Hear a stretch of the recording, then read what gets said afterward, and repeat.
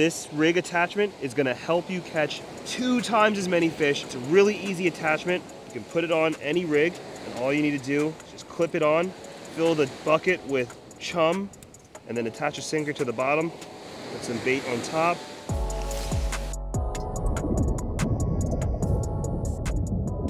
The nice part about this basket is that I'm usually just putting waste in here. So like fish heads, clam guts, stuff that I wasn't gonna use anyways, put it in the cage and it increases your chance that fish are gonna swim around your bait. Whoa, that's a nice one. Ooh, it's pulling. Nice.